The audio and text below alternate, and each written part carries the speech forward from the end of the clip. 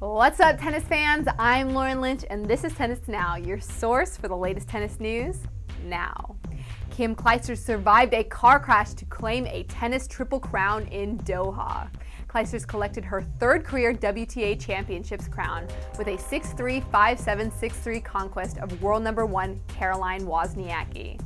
Playing her first tournament since she successfully defended her US Open title, Clijsters captured her 40th title and surpassed Serena Williams for the year-end number 3 spot in the rankings. Serena has won 37 career titles. Tennis top working mom won her fifth championship in just 11 tournament starts this year. And she did it after the car she was riding on Saturday morning was hit by a truck. Fortunately, Clijsters was not injured in the car accident. Clijsters said of the final, I felt like it was never going to end. It was a really tough battle with some great shots, great tennis, and great fitness. I'm glad that I won. Obviously, it's disappointing for Caroline, but I don't know how many more years I'm going to keep doing this. She has a great future ahead of her. Clijsters is just the fifth woman in history to win the season-ending tournament three times, joining Martina Navratilova, Steffi Graf, Chris Evert, and Monica Seles. The 20-year-old Wozniacki, who entered the final with a 31-3 record over her last seven tournaments, concludes the season ranking number one after falling a rematch of the 2009 US Open. Wozniacki said, It's been a fantastic week for me. Kim just played amazing today and she deserved to win. Michael Chang is about to embrace a new title, fatherhood. The former French Open champion and wife Amber Liu are expecting their first child. The baby is scheduled to arrive a little more than two years after the couple wed. Chang married Liu on October 18, 2008 in Laguna Hills, California. Chang is set to join fellow American champions Pete Sampras and Andre Agassi as a father. Agassi and wife Steffi Graf have two children who have hit the tennis genetic lottery with a pair of former world number one ranking parents. But Chang's child may well also be blessed with the tennis genes. Liu was an All-American standout for Stanford and hits with her husband when he's not playing on the senior circuit. Christophe Rochus has a theory on performance-enhancing drug use in tennis. If you can beat them, legalize them.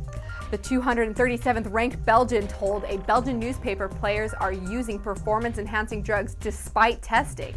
Rochus said he supports legalizing PED use in tennis because he believes drug use is already part of the game.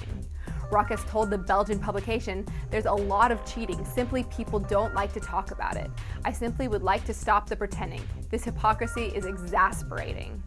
While skeptics may downplay the 31-year-old Belgian's comments as a case of a retiring player making headline grabs, Rochus suggests since drug use already occurs, the sport should acknowledge it and allow it.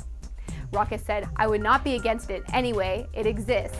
People who take these types of products know very well that they take risks with their health, but they take it knowing because it could let them make a living for their entire family. This isn't the first time Rochus has gained international attention this season. In July, the first round Newport match between British world number 552 Richard Bloomfield and Rochus attracted over $1.5 million in wagers and sparked an investigation after the 27-year-old Bloomfield, who had only one career ATP Tour level victory to his credit, beat Rochus 7-6, 6-3. Officials became suspicious due to the high volume of money bet on the obscure first round match. Betting site Betfair reported the match drew 15 to 20 times more betting activity than any other first round encounters. Several current and former players have raised the question that since current urine tests cannot detect human growth hormone, a drug test that athletes have used to gain competitive edge in other sports, how can tennis truly claim it is a clean sport?